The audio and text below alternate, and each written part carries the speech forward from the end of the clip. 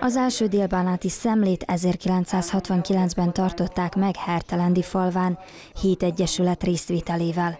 A rendezvény szervezésének az ügyvezetője Erős János volt. Fehér telepiek akkor csak egy személlyel, egy köcsög dudásval jelentek meg, de mi annak is örventünk, mert akkor indult el a szemle, és a célja az volt, hogy a művelődési életet felrázza azokba a helyiségekbe is, ahol abszolút nem létezett se kultúrház, se művelődési egyesület.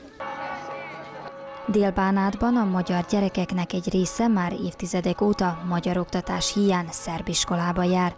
A művelődési egyesületek kínálnak kapaszkodót azoknak, akik meg szeretnék őrizni magyarságukat. Nekem ez nagyon jelent, azért mert én kiskoromtól kezdtem táncolni, már lesz 13 évet, hogy táncolok. Gondot jelent az utánpótlás, mert az iskolákban is egyre kevesebb a magyar diák. Az iskolában is foglalkozunk gyermekekkel, elsőtől negyedik osztályig, és szeretnénk bővíteni a csapatot. Októberben az idén szeretnénk csatlakoztatni néhány fiút is, lányt is. Torontál vásárhely ötödször volt házigazdája a Délbánáti Magyar Művelődési Egyesületek szemléjének. Leltár, de egyben jövőkép kiállítására is alkalmas volt a rendezvény. A leltár pozitív, azt hiszem, hogy valamennyien elmondhatjuk.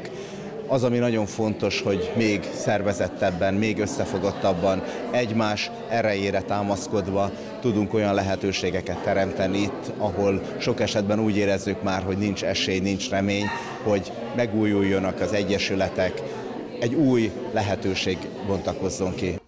A magyar kormány támogatásának köszönve jövő évtől egy mikrobusz is segíti majd az egyesületek munkáját, a Vajdasági Magyar Művelődési Szövetség pedig a szakmai hátteret biztosítja.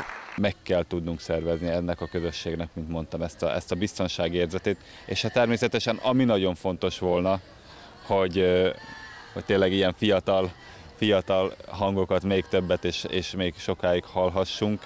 A tanácskozáson az is elhangzott, hogy még szorosabbá kell tenni az egyesületek együttműködését. Pancsován dolgozom, Hertelendi falván élek, és a gyerekeim azok a Hertelendi Tamási Áron Székely Magyar Művelődési Egyesület aktív tagjai, úgyhogy minden rendezvényüken részt vesznek, szavalnak, táncolnak, énekelnek.